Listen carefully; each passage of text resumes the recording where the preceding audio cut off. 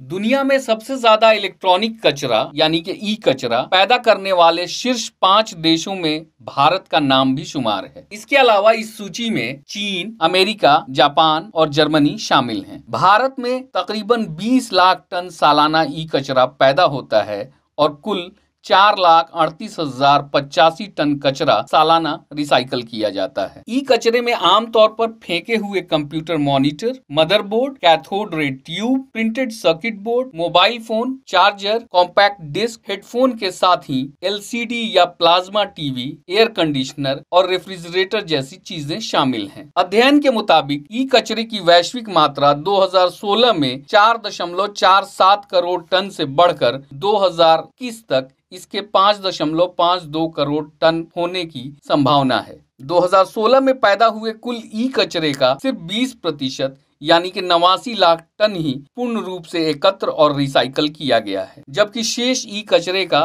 कोई रिकॉर्ड भी नहीं है। अध्ययन में बताया गया है कि दुनिया भर में उत्पन्न ई कचरे की मात्रा तीन दशमलव एक पाँच फ़ीसदी की दर से बढ़ने की उम्मीद है। ई कचरे में मौजूद सभी कच्चे माल का 2016 में कुल मूल्य लगभग इकसठ दशमलव शून्य पाँच अरब डॉलर है। प्रमुख वाणिज्य एवं उद्योग मंडल, एसोचेम, और नेशनल इकोनॉमिक काउंसिल द्वारा जारी रिपोर्ट के मुताबिक भारत में ई कचरे में सर्वाधिक योगदान महाराष्ट्र का है। यहाँ 19.8 प्रतिशत ई कचरा निकलता है। ये राज्य सिर्फ़ सैतालीस टन कचरे को सालाना रिसाइकल कर दोबारा प्रयोग के लायक बनाता है। ई कचरे में तमिलनाडु का योगदान तेरह प्रतिशत है और वो बावन हज़ार चार सौ सैतीस टन कचरे को रिसाइकल करता है। इसी प्रकार उत्तर प्रदेश दस दशमलव एक प्रतिशत की हिस्सेदारी के साथ तकरीबन छियासी हज़ार एक सौ तीस टन कचरे को रिसाइकल करता है।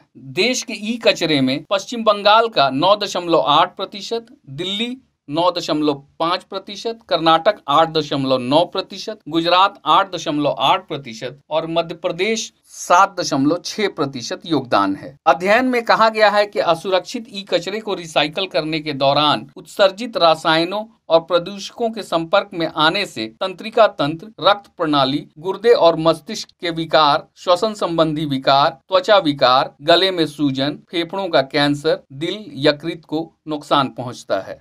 इस रिपोर्ट के अनुसार कर्नाटक जैसे राज्यों में संतावन रिसाइकलिंग इकाइयाँ हैं, जिनकी प्रसंस्करण क्षमता लगभग चौवालीस हज़ार छह सौ बीस टन है। वहीं महाराष्ट्र में ऐसी बत्तीस इकाइयाँ हैं, जो सैतालीस हज़ार आठ सौ दस टन ई कचरे को प्रसंस्कृत करती हैं।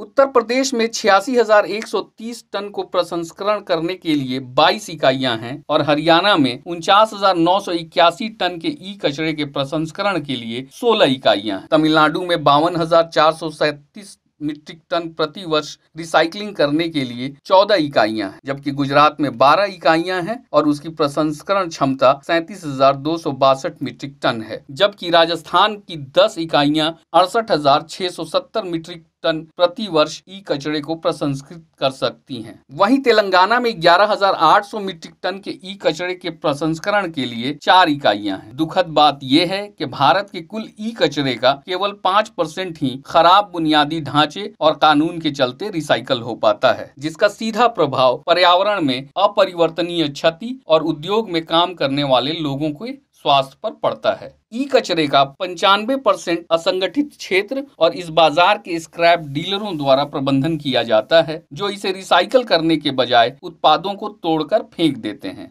भारत में वर्तमान समय में ई कचरे के उत्पादन होने की क्षमता, प्रसंस्करण करने की क्षमता से चार दशमलव पाँच छह गुना अधिक है। अधिक जनसंख्या भी इस बढ़ते हुए ई कचरे का एक महत्वपूर्ण कारक है। इस अध्ययन में ये भी बताया गया है कि जैसे जैसे भारत के लोग अमीर बनते जाते जाते हैं और अधिक इलेक्ट्रॉनिक सामान और उपकरण पर व्यय करते हैं। कुल ई कचरा सामग्री में कंप्यूटर के उपकरण लगभग 70 प्रतिशत दूर संचार उपकरण का 12 प्रतिशत, विद्युत संचरण उपकरण 8 प्रतिशत, चिकित्सा उपकरण 7 प्रतिशत और बाकी घरेलू सामान का योगदान 4 प्रतिशत है।